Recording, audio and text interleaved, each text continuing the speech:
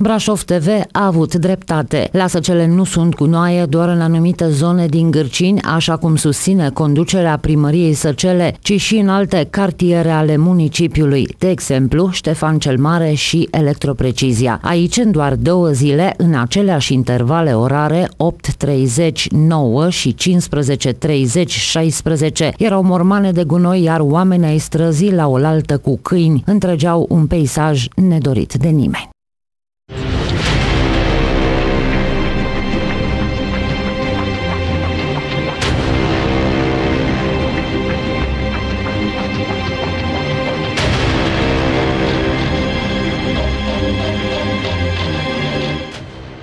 Imaginile deținute la redacție le-au fost prezentate miercuri inspectorilor gărzii de mediu din Brașov, care, fără nicio ezitare, au descins în zonele indicate, însoțiți chiar de viceprimarul din Săcele, Sorin Gâdea, primarul nicăieri. Concluzia este că Brașov TV a avut dreptate.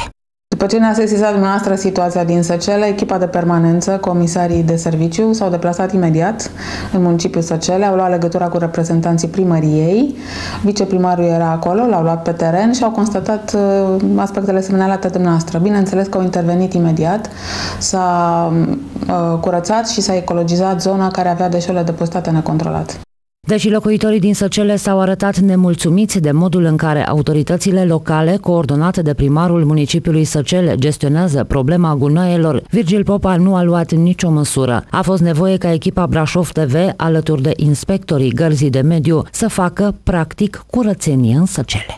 De ce se întâmplă la Săcele, pe imaginile pe care le-ați prezentat dumneavoastră, uh, lucrurile sunt clare. Domn primar se pare că trăiește în levitație și nu cunoaște realitatea din, uh, din teren. Dacă domn primar admite că doar în anumite zone există uh, deșeuri depozitate ilegal, ar trebui să plece acasă.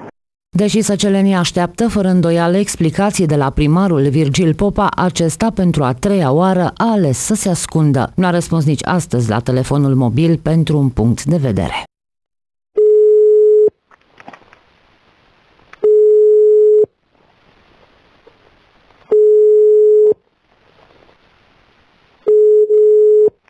Noi dezvăluiri de la Săcele aflați din următoarele jurnale Brașov TV.